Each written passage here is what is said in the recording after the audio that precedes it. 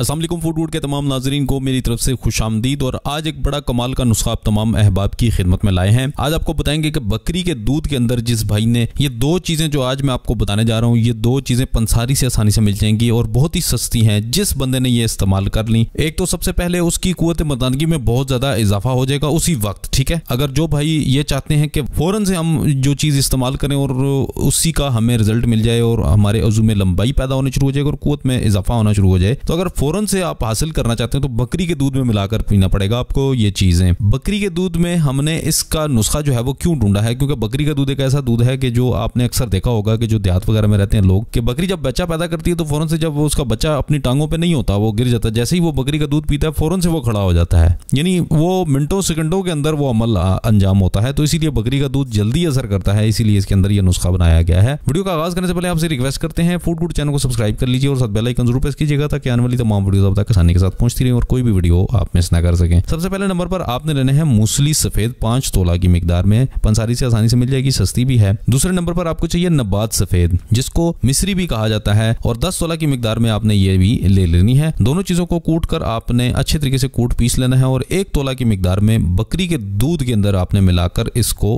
खाना है। ये एक खीर नुमा बन जाएगी और हो सकता है कि गाढ़ा भी हो जाए, आपने आधा गिलास या एक गिलास हो सके तो बकरी का दूध ले लेना है, नहीं तो आधा गिलास ले लें और उसको थोड़ा सा गर्म करने के लिए रख देना और उसके अंदर ये शामिल कर दे, करके अच्छे तरीके से आपने मिक्स करना है, फिर ये गाढ़ा सा अकवाम बन जाएगा खीर नुमा हो जाएगा। क्योंकि मूसली जो है वो जिस भी दूध के अंदर हो या चाहे बकरी के दूध के अंदर हो या गाय के अंदर हो, जैसे ही आप शामिल करते जाएँगे, ये दूध गाढ़ा होना शुरू हो जाएगा और खीर नुमा तैयार हो जाएगी तो आपने इसको इस्तेमाल कर लेना है। इनशाला आपके अंदर ऐसी ताकत मिलेगी, मैं जैसे कि वीडियो को शुरू में बता चुका हूँ कि जितनी जल्दी ये बकरी के बच्चे को ताकत देता है, इसी तरह से इतनी ही जल्दी आपको हुई ताकत देगा, फ़ौरन से आपके जू में सख्ती और लंबाई पैदा कर देगा और ऐसी ताकत पैदा करेगा जो कि आपके अंदर ना खत्म होने वाली ताकत है। कई लोग तो ऐसे होते हैं, या कई नुस्खा जाता ऐसे होते हैं, जो फ़ौरन इस्तेमाल करते हैं तो फ़ायदा हो जाता है, लेकिन बाद में उसका फ़ायदा खत्म हो जाता है। ये मुस्तकिल फ़ायदा देने वाला नुस्खा है। उम्मीद रखते हैं आपको ये वीडियो अच्छी लगी होगी। वीडियो अच्छी लगी दूसरे आप आपके साथ शेयर कर दीजिए। अपना बहुत सारा ख्याल रखिएगा। मिलते हैं कल इस तरह की किसी अच्छी वीडियो के साथ। अल्लाह हाफिज़।